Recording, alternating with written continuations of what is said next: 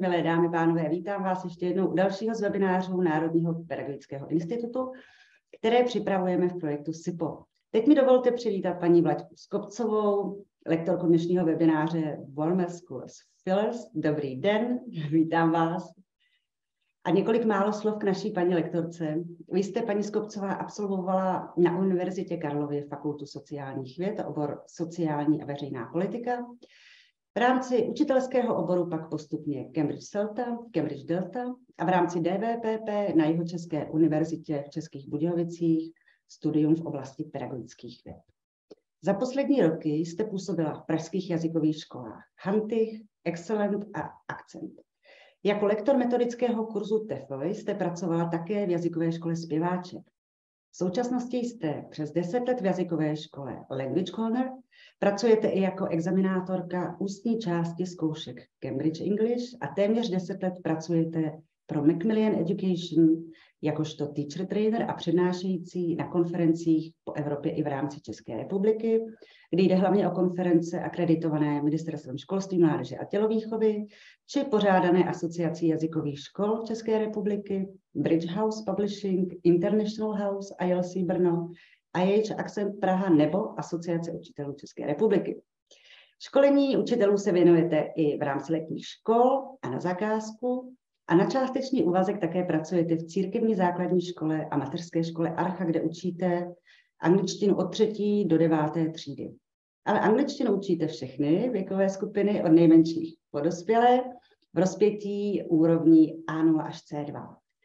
A nesmím zapomenout připomenout, že pro NPI a SIPO jste také připravila webináře Grammar in Games, 21st Century Skills in Our Lessons a dnešní webinář Warmer Schools Pillars, u kterého vás ještě jednou vítám. To už je ode mě úplně všechno. Já vám popřeji příjemný poslech a konečně předávám slovo paní Skopcové. Dobrý večer, moc děkuji za představení a úvod do semináře. So, well, once more in English. Hello everybody. Hello to all your homes. Uh, but thank you for coming here and for your interest in, in these webinars. Um, well, I would warmly like to uh, welcome you here for the warmers coolers and fillers. You already know the topic, uh, but uh, what are we going to do today? Uh, first of all, uh, I want to focus a little bit on what warmers, coolers, and fillers are, what's typical for each of those activities. And then most of time, we would of course spend trying or speaking about activities, many activities. Uh, so uh, first of all, uh, I would like to mention that some of you teach at primary schools, some of you at secondary schools. So there is always a way how to modify the activities to make them more difficult, uh, more challenging, or on the other hand, how to, uh, how to prepare a kind of easier version of those. Some of the activities are not prepared for online environment. Uh, I think it's okay nowadays because we can all teach face to face in our lessons. So these activities we can't really try here properly. I will just try to explain how, how they work but there are a few of them which we can try online. So then uh, I would like to ask you and welcome you to cooperate and to participate in our chat and uh, to take part in all those activities where you can, because I think it's great that uh, when you try them, it's easier to modify them for your students uh, and uh, you can also remember them in an easier way. So let's have a look at warmers, coolers fillers. So as I promised, we will start uh, with a few descriptors. Uh, here you can see a list of many words. Uh, there are adjectives, uh, there are some, some verbs. Uh, and what I want you to do is to think on your own which ones are more relevant to warmers and which one are rather connected with coolers. So I will give you a minute so that you can focus on them and then we will look at the division. So now, here we can see uh, uh, the overview when we divide these uh, activities or descriptors into those two categories. Uh, so basically, in general, we can say that all warmers, coolers, are fill and fillers are kind of games.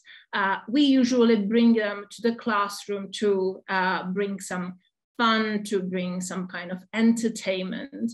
Uh, but on the other hand, they still have their specific function. So while warmers are more uh, to bring energy, fun, uh, they are competitive. So we can expect that the students would be active. They will want to work fast. Uh, on the other hand, the coolers are rather the ones when students keep more quiet, they try to focus on their work. Uh, they even maybe are more interested in working on their own because they don't want uh, other students uh, to, uh, to, somehow uh, participate uh, because they want to show us how, how they think and, and, and stuff like that. what's interesting is that mostly when we work with younger children, uh, we need the coolers uh, because uh, younger learners are very active, they're always full of energy, very talkative. And when we bring a warmer in the classroom, sometimes uh, it's, it's too much of energy. Uh, so there we focus on coolers a bit more because we want to cool them down, we want to concentrate, we want to make them concentrate and help them work ser sorry, seriously. On the other hand, uh, working with teenagers means that we need lots of warmers because teenagers are usually more silent. They have the feeling that everything is boring or strange. So they sometimes uh, don't really cooperate on that level we want them to. So then warmers might be very helpful because they would definitely increase the energy and help them participate. So uh, having a look at each of them on their own. Warmers are mostly used at the beginning of the lessons or some activities because these are the ones where we want to activate schemata. We want to get the students the idea that they are going to work in English and to basically give them the energy to work. Uh, we sometimes call them icebreakers, but you can also think about warmers as some kind of lead-in activities because they basically lead in to a more uh, serious thing. And uh, as I've already mentioned, the teenagers, they help us to keep them away. On the other hand, coolers, uh, they, they help us to cool the students down. And it means that we usually use them at the end of the activity because we want them to concentrate on the results. Uh, maybe we want them to reflect a little bit, either on how they feel or what they've learned. And then somewhere in between, there are so-called fillers. they are really uh, what, what we call them uh, they, they uh, are there to fill in some time, uh, which is uh, by accident an extra time. So between two stages where we see that one stage was maybe very fast and we don't want to move to another one, uh, then we can use a filler. At the end of a lesson where we have just two minutes left and it doesn't make sense to open anything new, then we can use a filler. So here we don't have a concrete focus uh, on something special, but we rather want to use this time uh, in a useful way rather than uh, just to kill it doing something which doesn't make sense for the students. And now the activities. So the first one called Catch the Ball is something which we unfortunately can't really try here because I can't uh, throw the ball to you. Uh, but uh, with students, it's quite nice uh, that uh, they can uh, interact just not with words, but they can they can use the ball to nominate a person who's going to be active. So what I do is that I bring a ball to the classroom and I give them a task one of the possible uh, ideas is uh, that I ask them to spell a word. So I throw a ball to a first person and say, please spell the word tiger. The pupil spells the word and then throws the ball to another one, giving them another word which uh, they want them to spell.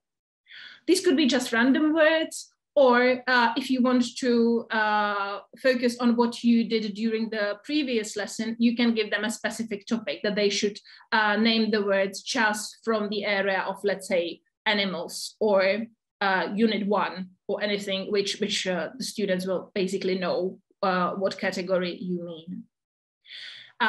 if you want to do it a bit more difficult, you can ask them to answer a question.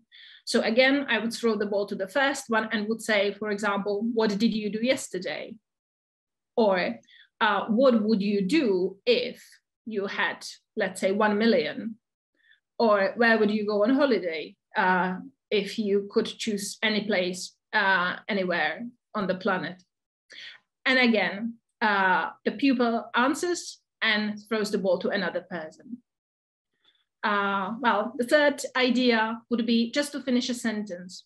So again, it could be a specific grammar, or it could be just like anything sentence which comes to your mind. Um, and it could be something like, uh, at weekend, I'm going to. And again, uh, the student finishes the sentence. Uh, of course, you can come with millions of ideas for this activity. That's one of the reasons why I like it so much because uh, it's like amazingly flexible. Uh, and it's usually effective for any word category, uh, any grammar.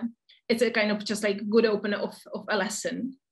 And uh, if either by you don't have a ball or your students don't uh, find uh, throwing the ball that fun, so then uh, you can ask them just to nominate. it's, it's absolutely okay when the students can call the other person just by their name and then uh, the next person can continue. Another warmer uh, called football, as you can see, is connected with the uh, with the sport itself, and uh, I like playing it this way uh, just because uh, there are always lots of boys in the classrooms who like playing football, and I would say like football is a kind of national sport here, and this means that all the students know what, what, what's going to happen so you either can prepare a, a real picture or you can just draw a tiny little sketch on the board or the children can sketch it on a piece of paper. It depends whether you want to play with the whole class or uh, when the students know the game, they can play just in pairs. So that's what I would recommend to start playing in pairs uh, sooner or later. Uh, and the thing is that the students share the picture uh, of a football pitch.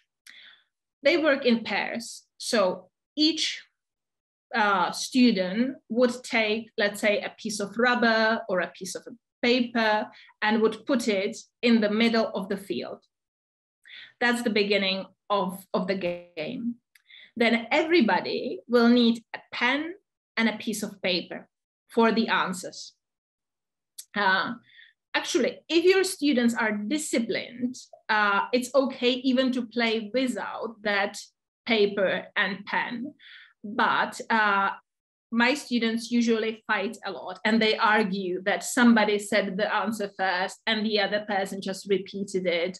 So to avoid all these uh, quarrels, uh, I think that it's easier when they write their answers on a piece of paper and it's quite clear whose answer was correct and whose was incorrect. So everybody is in the middle of the field and they are waiting for the first task. If they answer in the correct way, they can move one step towards uh, the other person's goal. So here they're like moving uh, actually five times and the main idea is to score. So when one of the students gets to the goal, uh, they score a goal.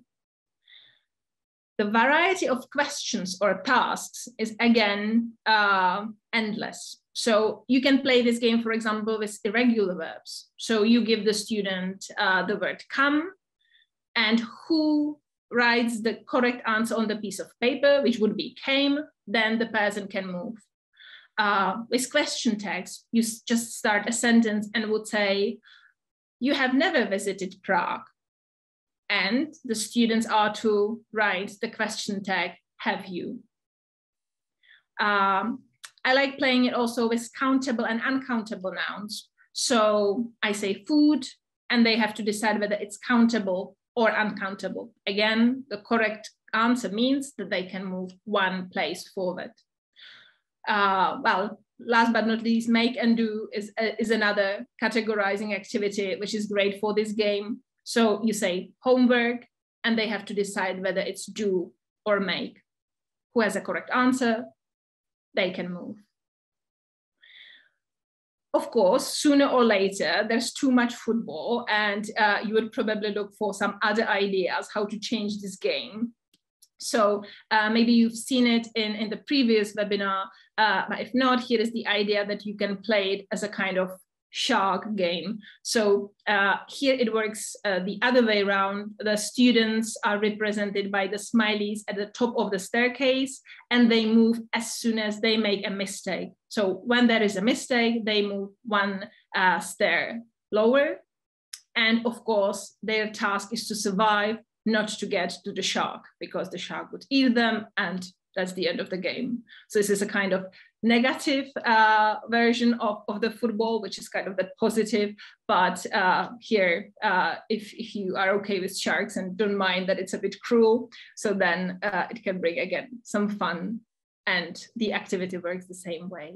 Well, we don't have many opportunities, I guess, nowadays to use the real paper dictionaries in our lessons, but this warmer or filler might give you uh, an, uh, uh, a chance to, to show uh, the students uh, how the old paper ones worked.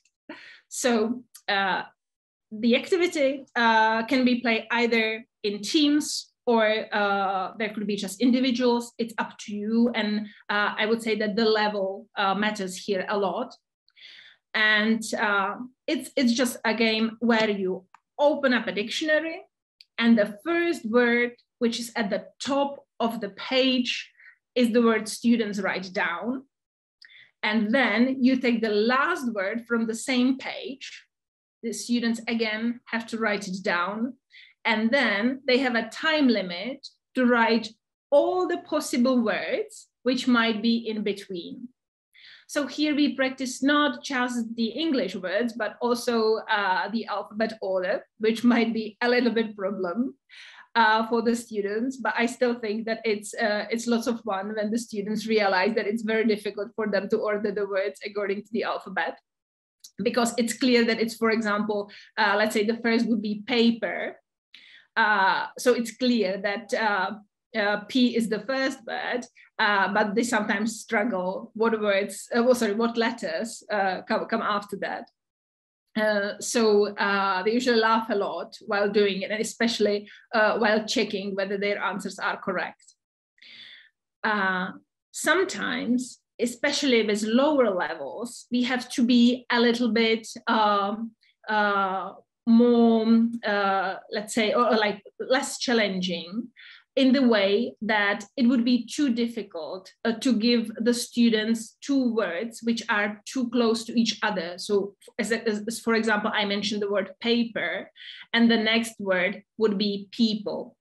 Uh, that, that, that's what might happen in the dictionary.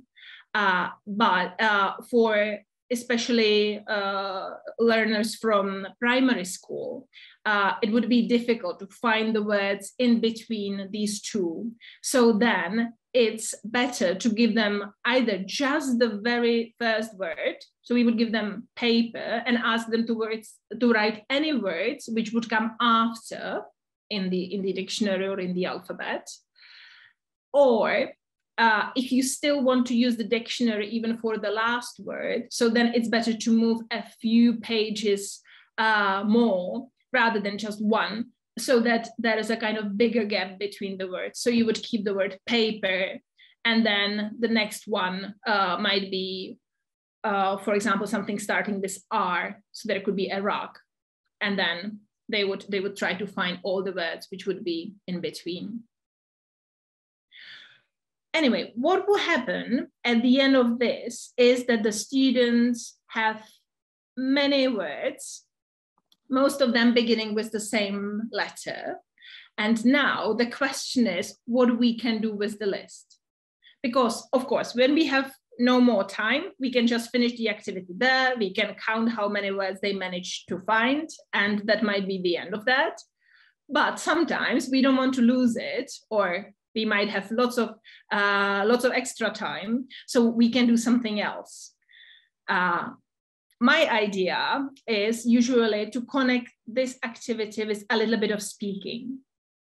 So uh, therefore, after that, you might play a kind of three minute story game, which works in the way that the students work again in pairs or small groups. Actually, they can be in the same groups as they were when they were looking up the words. And uh, their task is to tell a story using as many words as possible from their list.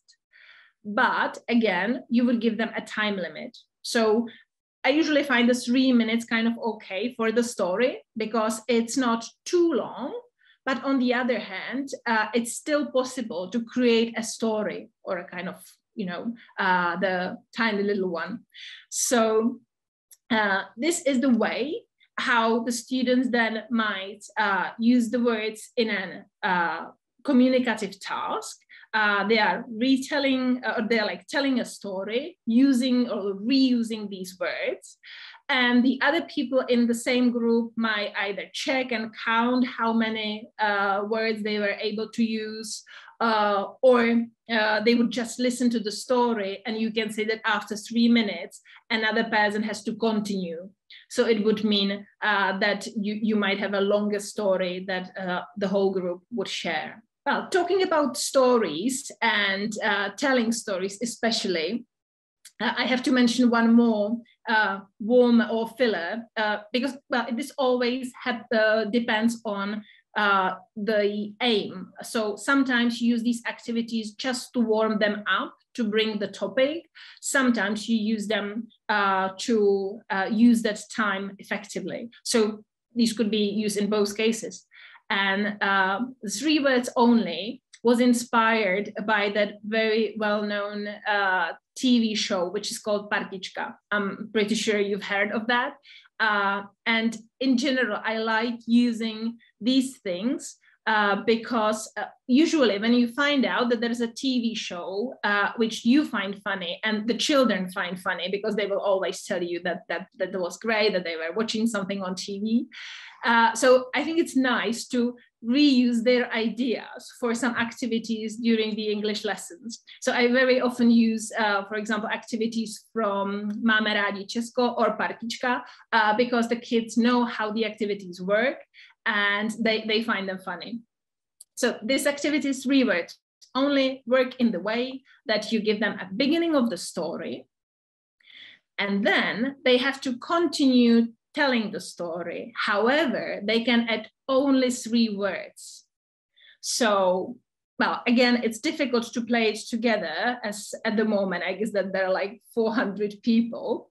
Uh, but uh, I have uh, some ideas pre-prepared. So the next person uh, who would actually start would say, I heard air The next might, might continue with strange noise coming and another one adding from the kitchen, and so on and so forth. So the story would continue for some time till they reach some kind of uh, end of that.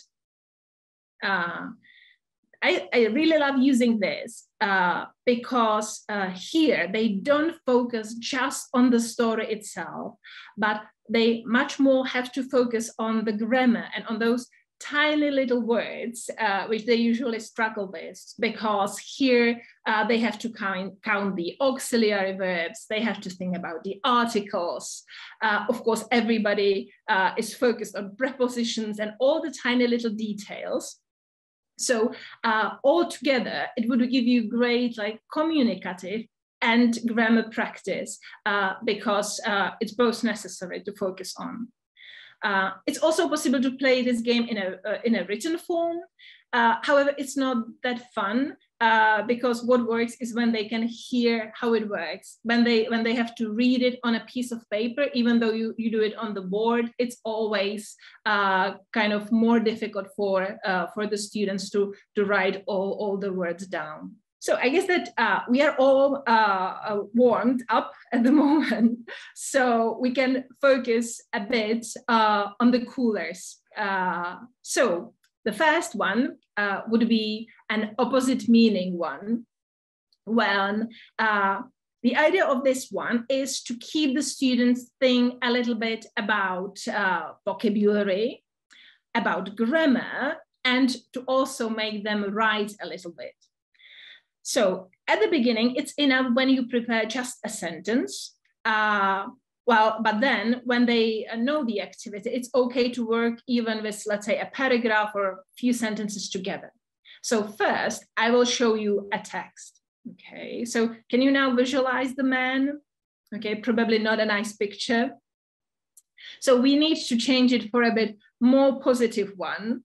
So I would ask you if you can think about anything, well, like as much as possible, what you can change here regarding vocabulary, grammar, to the absolute opposite of what is written here. So I would give you time. So try to change anything possible to the opposite meaning.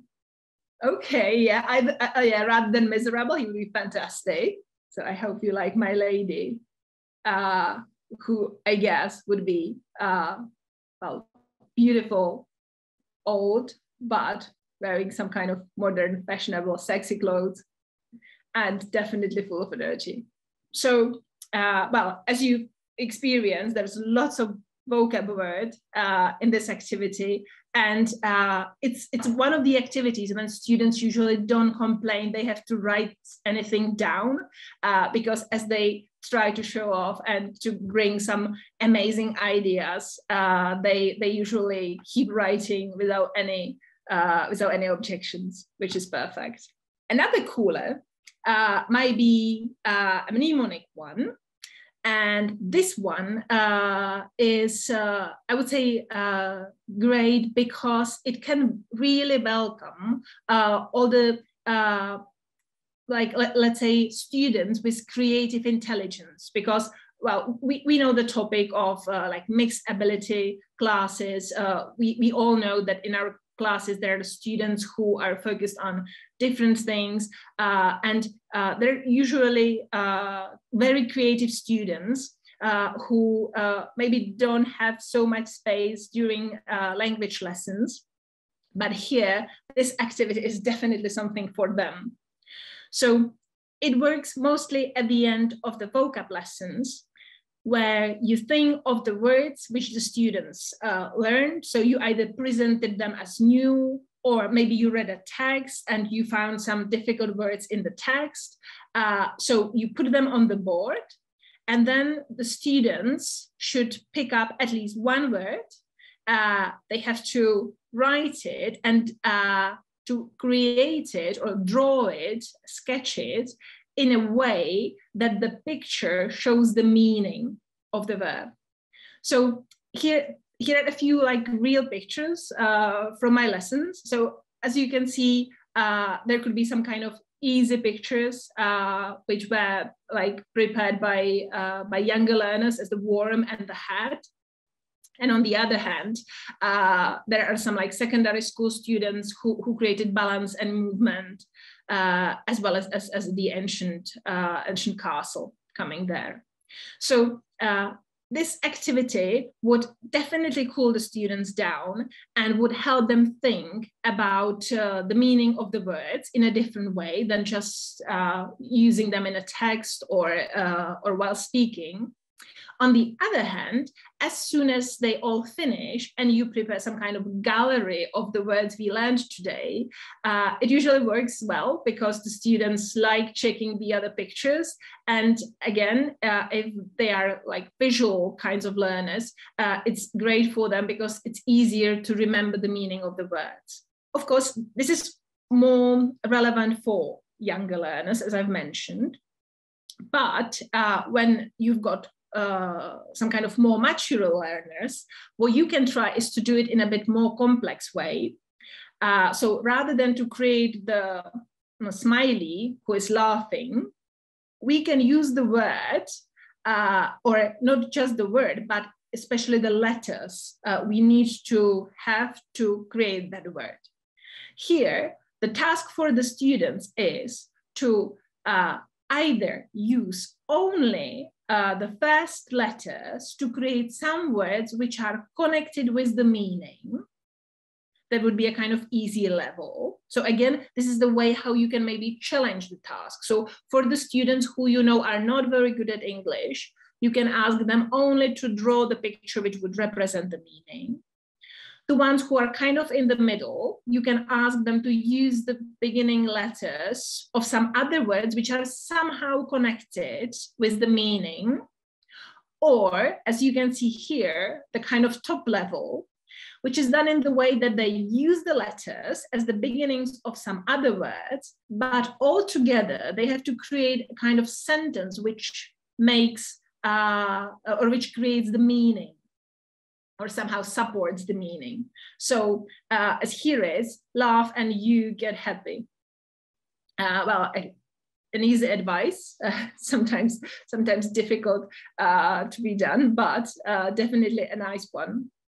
So uh, what I was thinking about that maybe now at the moment we can try to think about the word teach because well you know teaching is something which definitely connects us uh, so I was wondering whether you would think either about some words which are connected with the beginnings of the like letters T, uh, E, A, C, H, or whether some of you would even be interested in trying to create a real sentence that would somehow define teaching. to eat, wow, that's amazing. Yeah, perfect yeah because it's it's to each student right? We deliver some information to each student. So i will give you some time so that you can think. Oh teach english and communicate happily that's amazing. Thank you. Task energy activity creative happy enthusiastic. Yay. Wow. Great words. To elevate above common horrendousness. Okay. Oh teach english at child's hospital. That would be nice. Uh-huh oh, sorry, test each activity can help. Yeah, that's true. Yeah, test, teach, test. That's the nice format of the lesson, right? Tough, endless, and challenging hours. Yes, you're right. But amazing job anyway. Teachers of English are creative humans. Yeah, nice. Very nice. Try educating and caring heaps. Yeah, okay. Great ideas. Super. Thank you. So yeah so you exactly see how it works. Uh, well i think that you would get lots of fun with your students using this activity every now and then because they are they're usually like very creative and they have amazing ideas. And i always have to laugh at what they what they bring because it's it's always like nice and it's really that kind of nice feeling that they they can enjoy it. And uh, that's a kind of nice way of how to end the lesson because everybody then is leaving uh, on that happy mode. So that's great Right, so let's warm up a little bit again. Uh, well, we are getting to a section uh, which is one of my favorites, uh, just because I love halves of sentences. That, that's that's uh, that's something which I uh, use very often uh, because I think that it's it's a kind of nice way how to, on one hand, support the learners in the way that you give them the let's say scaffolding or the idea, and then they can finish it on their own. So quotation would be uh, one of them. Uh, it works in the way that I give the student the real beginning of a quotation and I ask them to finish it. And sometimes even they're able to uh, uh guess who the author uh, of the quotation is. So uh, have you got any ideas how to finish this one? If you want to be happy, Oh, it's chocolate. Great. That's mine. Mm-hmm. Smile. Nice. Mm-hmm. Well, actually, that was Leo Tolstoy who said that's enough to be where we want to be happy. Yeah, but your ideas are, yeah, definitely uh, much more interesting. Like, just like, yeah, go skiing. Yeah, drink coffee, cup of wine. Amazing. Be yourself. Great. Amazing. Super. I got, and oh, do not watch the news. Yes, thank you uh, I got another one. Better than a thousand days of diligent study is So it's actually a Japanese proverb which say uh, that is one day is a great teacher and a day of work. Yeah. mm-hmm, there's home. Nice. Well, Mahatma Gandhi said that there's life, but but I definitely like your ideas too. Great. So I, I think that you have the idea. Again, it might be an amazing warmer especially when you are going to listen uh, about somebody or read about somebody famous. So then having a few of their quotations uh, make uh, the students much more interested and they would even like give them the idea of what they are going to talk about, like what kind of person he or she wear. So so I think that again, that would that would bring the interest and up really effectively. But staying with the half of sentences, uh, here is the way how uh, I like to practice some grammar because you know halves of sentences are amazing for practicing grammar. So here, just the idea of what is but in fact, just it works the other way around. You don't have the beginning, you know that the sentence should finish, but in fact, it's good for you. So again, I would ask you for some ideas what in fact is good for us. okay, I guess like chocolate is a big topic for all teachers, right? So don't eat chocolate, but in fact, it's good for you. Yeah, yeah, because uh, I heard that chocolate is vegetable or at least fruit, right? So it's it's healthy, it's good. Yeah, studying English is difficult, but in fact, it's good for you. Yeah, okay, that that's yeah, that's something you can tell our students. Great. Mm-hmm. Uh, another one would be, but in fact, he's quite nice. So do we know anybody who in fact is quite nice? okay, so we've got a scary principal here, but he's quite nice. Yeah. mm-hmm. Yeah, seems strange, looks angrily. Mm-hmm. Right. Yeah. So we know all the bosses and headmasters. Yeah. And directors. Yeah. Who, who in fact are quite nice, but they, they have to be strict. Exactly. Amazing. And the last one, but in fact, she's not really. she looks pregnant, yeah. Mm-hmm, mm-hmm. She seems nice, but in fact, she's not really great. Mm-hmm. Amazing. So again, here, uh, the, the way you create the ending, it affects what kind of language or vocabulary the students would be forced to use. So either you want to focus on adjectives, as, as here we do, or if you want to uh, have a look at something specific, everything will basically work the best way is to connect both these games together.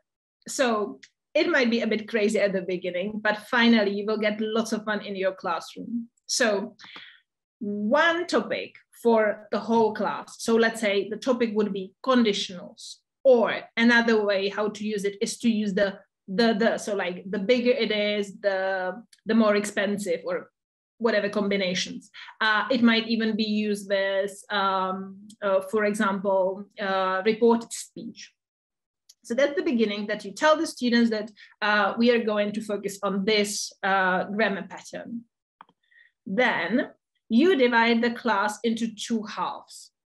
One half is preparing the beginning of the sentence so for example, if you focus on conditionals, uh, let's say the second conditional, they would say, if I were a princess, and they could they could create anything which would follow this pattern. So if I had one million, if I could go on holiday, if I knew English, whatever works. That's just what they have to do is to follow the pattern. The other half of the class does the same with the other half of the sentence. So then they would say, like, I would buy a castle, I would marry a prince, uh, I would never go to school again, and, and so on and so forth. So here they have some kind of time limit to prepare these questions, uh, sorry, the, these halves. You usually have to monitor to help them a little bit uh, so that they are not struggling. And then after the time limit is up, the whole class goes together again and they take part in the way that like the first group reads the beginning and the other half tries to find the best matching ending which they've prepared before uh, to finish the sentence So here uh, it's it, it, it's usually very funny because of course uh, the students want to laugh as well. So they usually try to pick up some uh, funny funny endings for the for the beginnings, and uh, I think that you can enjoy it a lot while practicing a grammar which the students actually will finally uh, not realize that there's all the grammar behind that because they would have the feeling that they are just playing a game. So uh, well, I guess that this is the last warmer at the moment, uh, and then we will move again uh, somewhere else. So the the the one uh, we we call a pancake. I, I don't know whether there is a kind of real name, but uh, my my uh, my pupils say that uh, the pancake is the best name for that game. So each student start with a pen and a piece of paper. That's the beginning. Then the first thing they should write at the top of the paper is when something happened. So basically, they would just write yesterday, tomorrow, at five o'clock, on Sunday. Whatever time expression, they write down. And now there comes a very important step. They fold that piece of paper so that it's not possible to see what they've written. And they pass the paper to the person sitting on their right, which means that now at the moment, everybody is sitting with a kind of new piece of paper, which came from the person uh, sitting on the left, I hope. And they are prepared for another question. And another one is who. So here they again just write who. So my father, their neighbor, the whole class, Spider-Man, whoever works for who, then they can write it down. Again, they fold the paper and pass it to the person sitting on their right. Now, here comes a kind of tricky one because we are not asking for the third piece of information, but we want them to write down an activity. Uh, it's actually enough when they write it in the kind of uh, infinitive form, because when you remember the first question, it was when. And of course, it's impossible to write a concrete verb form at the moment because they don't know who uh, wrote what. So actually here they write just a verb, just an activity, uh, which would be even in infinitive form. Again, fold it, pass the paper, and then we continue with the series of questions. So could be how, where, oh, sorry, and that could be, let's say, the end of that activity. So now at the very end, the paper has moved uh, from the first person to the fifth one. The fifth person writes the final information saying where, and then pass the paper to the city to the person sitting on the right the person the person then has like a new piece of paper and they can refold it which means that they would get basically a sentence saying when somebody now the activity how they did it and where. So what they have to do is at the moment to think about the form of the verb because they have the then, an activity in the infinitive and uh, they, according to the information, like when it happened, have to change it so that the whole sentence works together. And then we just spend time reading the sentences out loud. And again, well, lots of them are funny. Uh, as soon as you played for more times, so then the students know what's going to happen. So they try to prepare some kind of uh, funny pieces of information in there, or they sometimes even write about something what happened in the class, uh, which on the other hand might be a bit tricky. So uh, when when there is a kind of like strange feeling in the class because something might have happened even like before the English lesson. Uh, we, we have the agreement that we are not going to write anybody who is in the class uh, in that section who uh, because we don't want to, to make it like too personal sometimes. But in general, uh, it, it always works and they create the sentences and they practice a little bit of tenses because they have to uh, choose the activity, uh, like the verb to, to the correct form. Of course, you can prepare lots of patterns. It doesn't always have to be in that way, like when, who, an activity, who, how, where. Uh, you can add anything you like or which is relevant uh, for your students. And uh, uh, it, it, even can be like shorter, whatever you need, or how much time you have to spend on it. Well, uh, now moving to something uh, which my students, and I guess like yours will, will like as well, is playing with emojis. This is something which basically gives you uh, uh, an interview or the information about what some people were talking about. So, first of all, I would like you to have a look at this uh, interview and tell me what you think the people are saying. So, what about the first uh, A? What's the piece of information hidden behind all these emojis? How are you? Excellent. Yes, Perfect. Okay. What does the B reply? Okay. Yeah. Somebody overslept. Yeah. Okay. Somebody's yeah really sad. Mm-hmm.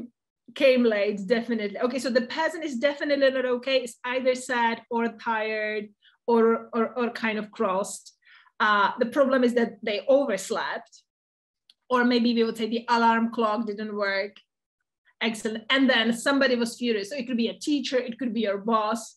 It could be the headmaster yeah, perfect. So again, it depends on like whether we are talking about uh, us as teachers or whether it would be the uh, uh, written by by our student. Uh, well, hopefully not by a student because A is saying something in reply. So let's have a look at the second. Oh, Puyo, let's have a drink. Yes, exactly. So hopefully these are not students. Uh, this was just written by our colleagues or somebody who's definitely an adult. And yeah, B's happy. yeah. So uh, this is again something which you can have lots of fun with because uh, well, kids love emojis. Uh, so you can either prepare them these tiny little uh, interviews uh, or you can even prepare a story. They can prepare stories, they can share them, rewrite them, recreate them. Anything uh, which you find nice, uh, you can uh, just write tiny little sentences, then they can put them into the correct order as soon as they rewrite them. Uh, again, tons of ideas uh, you will definitely get as soon as uh, you, you, you, try it. Uh, well, going more to technology, starting with emojis, we are, we are, we are like moving a bit further. I would like you to try uh, your QR code scanners. So in your mobile phones, I hope you have them with you. If not, don't worry. Uh, you, you will see what's behind that. But if you have the opportunity to try it, uh, if you could please take your mobile phone, use the QR code scanner, which probably uh, is in there, and scan this code. Well, while you are uh, looking up for, for the QR code scanner, uh, I, oh, sorry, your scanner doesn't work. Sorry, that doesn't matter. I'll, I'll show you how it works. Uh, just why it's here. Uh, I like using like every now and then, right? Uh, QR codes uh, because, yes, okay, somebody already got to Youglish. Uh, so I like using QR codes either at the beginning of the lesson uh, to warm them up, to give them the opportunity to find something behind the code and do it and get interested. Or it's great when you, for example, hide their homework behind that just like, well, that's your homework and the QR code and bye-bye. And they scan it and they, they like have the feeling that it's lots of fun. Uh, so sometimes I just put it on the door when they are leaving the classroom after the lesson. So I say like, well, the homework is on the on the door anyway. So they scan it while they are leaving and they just go home and, and they have they have uh, the, the either web page or the text or whatever is behind that code uh, pre-prepared so that they can start doing the homework.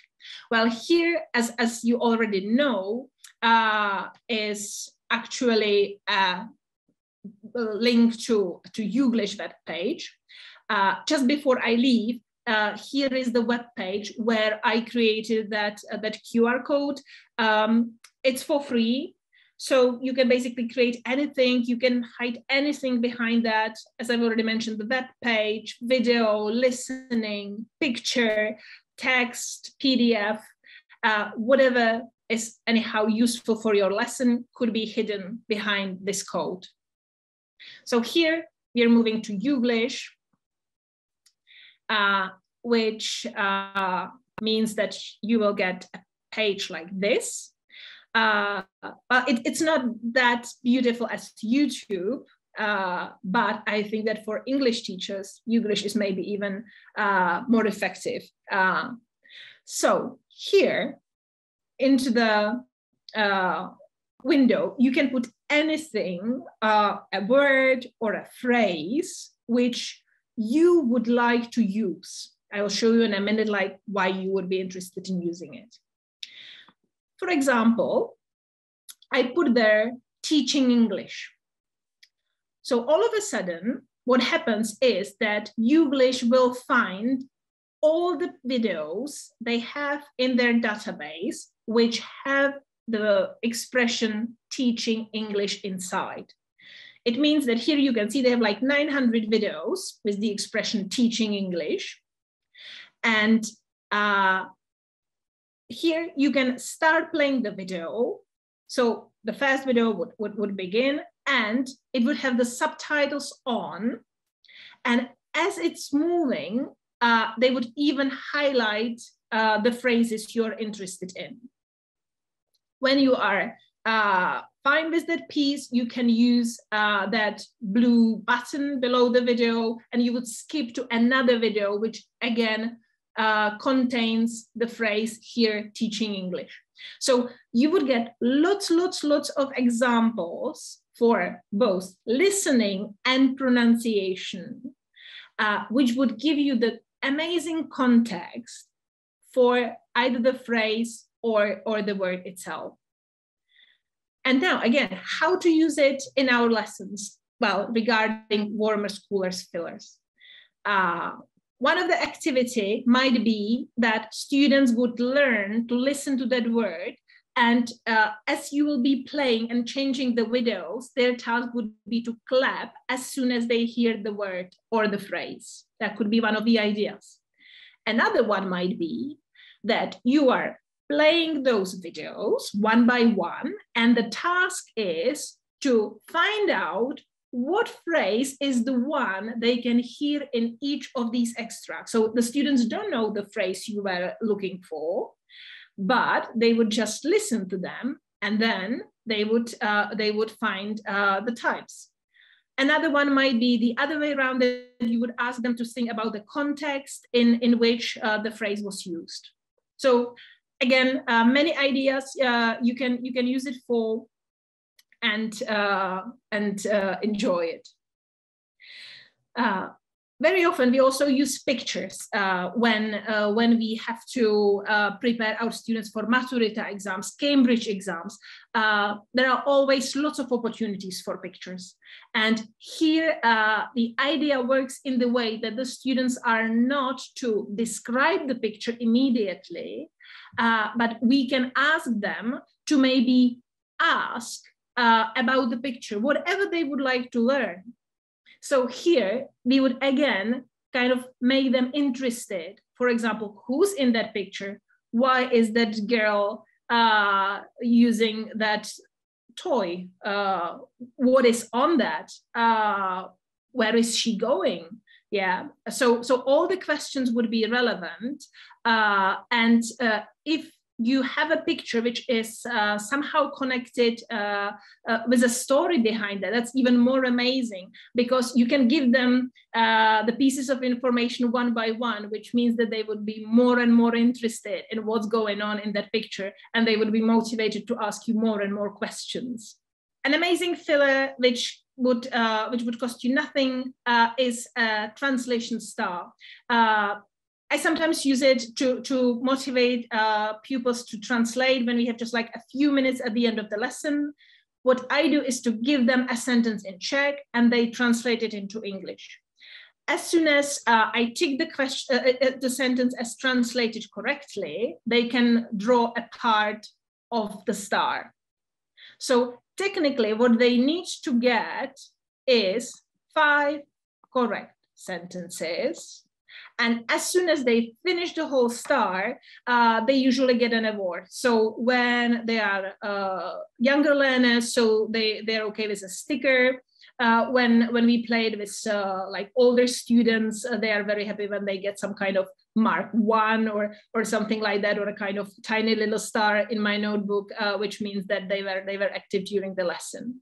So again something they can they can keep on a separate piece of paper and whenever you have a few minutes at the end of the lesson uh, you can you can just like try the translation star and uh, keep them working.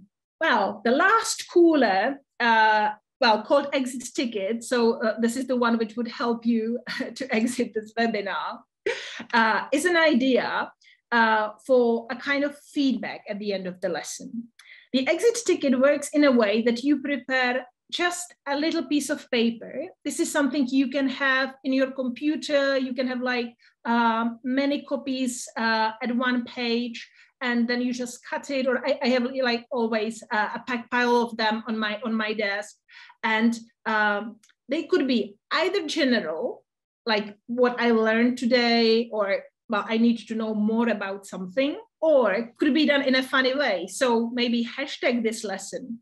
Yeah. So well, hashtags are the the keywords uh, which, like in a in a teenage uh, way, are called rather hashtags. Uh, um, so well, hashtag the lesson, and uh, well, from those hashtags, you will you, you would get lots of information. Or if you want to find out what they really learned, uh, so then it could be a tiny little test. And in each kind of cloud, they would just write the correct answer for some four multiple choice uh, questions, right? So I would like a question ABC, and they would just write uh, the, the relevant answers into, into each cloud. Uh, well, they, they, they give me the ticket into the box as they are leaving the classroom because, well, it's called an exit ticket.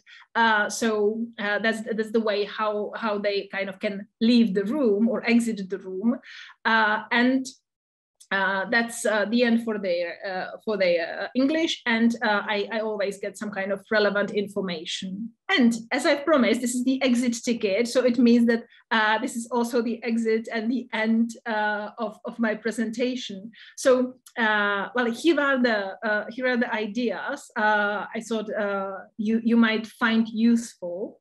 And uh, I can see we still have, yeah, we have three questions here in the question and answers box. So I will open the box and we'll have a look at the, at the questions. So beginning and ending activities, an easier topic rather than conditionals for younger learners. Well, for younger learners, uh, you can maybe just do it uh, in the way that uh, you say, for example, we are going to do uh, let's say past simple. So one of the groups would begin the sentence. So would say like who and what the person did. And the other half would say when and where. Yeah, so you, you have to always give them a clear pattern, like what, what their part is. Uh, or maybe I can imagine playing it with uh, relative clauses as well. So again, one part would, would give the main clause and the other part would give uh, the one starting either which or who, uh, and that would be their task then to mix it in a proper way when they get the beginning. So I think that the, these could be used with the, uh, uh with the lower levels. Is it paid? 1759 so, so i guess that this this question might be relevant for the qr code creator.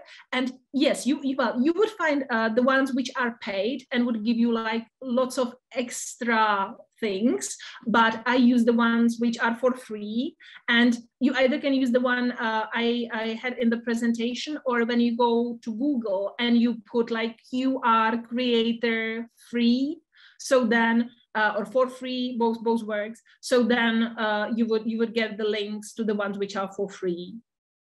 Usually it's done in the way that like if you want some like basic things, it's for free. And then if you want some extra, like that they would remember the QR code or you would have like a proper uh, proper file there. So then it, it's paid. Okay.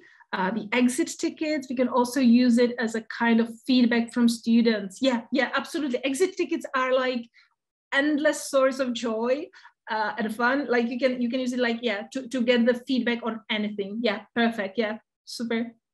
Uh, right. Okay. So I can't see any more questions coming. Sorry to keep you a bit longer than expected. Thank you very much. Thank you for all your uh, or your questions and answers for your participation. Uh, it was really great to be here with you. Uh, so I wish you like great evening. I hope that you'd find some of those activities useful and it would help you uh, in, in, uh, in preparing your lessons. And yeah, okay, well, one more question before I finish. So the QR code as a homework, uh, how could we use it? Well, I just print out the QR code uh, and uh, put it either on the on the board or on the door I would say like, yeah, that's the, that's the homework when you are leaving. Don't don't forget to scan it. And that's it. You, you don't have to do more because the teenagers they're amazing with, with technology, so they will they will know. They usually don't don't need any extra support. Okay, great. So thank you very much. Have a great evening and hope to meet you again soon. Uh, okay, so thank you and bye bye.